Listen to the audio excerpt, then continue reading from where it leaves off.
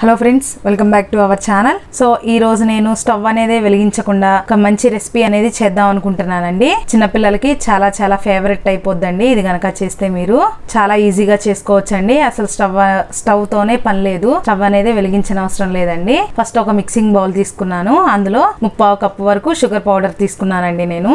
అలాగే ఇందులో ఒక త్రీ టేబుల్ స్పూన్ వరకు రూమ్ టెంపరేచర్ ఉన్న నెయ్యి తీసుకోవాలి. దీన్ని ఇలా షుగర్ పౌడరు నెయ్యి కలిపేసుకోవాలండి మొత్తం. మిక్స్ చేసుకోవాలి. మిక్స్ చేసి పక్కన పెట్టుకొని ఒక మిక్సీ జార్లో పుట్నాల పప్పు ఒక కప్పు వరకు వేసుకున్నానండి. అలాగే కొన్ని ఆల్బండ్స్ వేసుకున్నాను.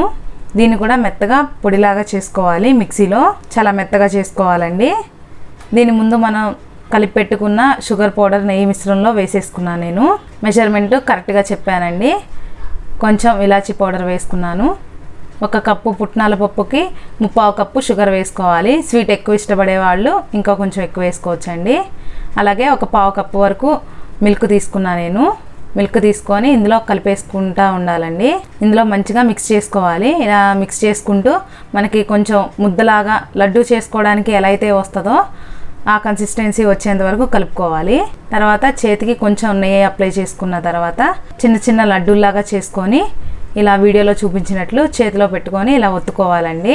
ఇలా ఒత్తుకున్న తర్వాత దీనిపైన మనం స్టిక్తో కొంచెం ఇలా డిజైన్ లాగా చేసుకుంటే చిన్నపిల్లలకి చాలా ఇంట్రెస్టింగ్గా కూడా ఉంటుందండి. చాలా ఇష్టంగా తింటారు. తప్పకుండా పిల్లలు ఏమైనా స్నాక్స్ అడిగితే అప్పుడప్పుడు చేసి ఇచ్చేయచ్చండి ఈ కుకీస్ని సో చాలా ఈజీ కదండి. మీకు కూడా నచ్చిందని అనుకుంటున్నాను. వీడియో ఎవరైనా లైక్ చేయకపోతే లైక్ చేయండి. తప్పకుండా సబ్స్క్రైబ్ చేయండి. Thank you for watching this video